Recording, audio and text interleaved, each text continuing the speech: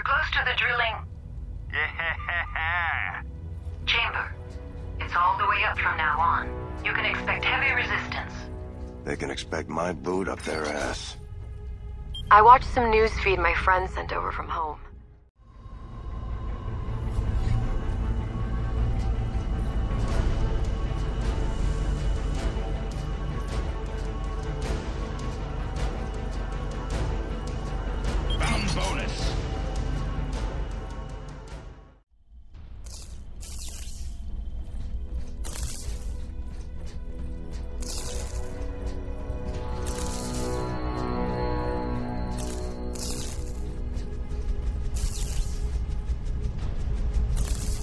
We started work on the merging process.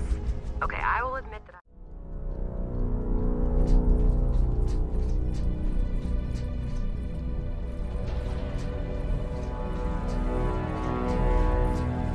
UE brass arrived today, which means a whole bunch of army...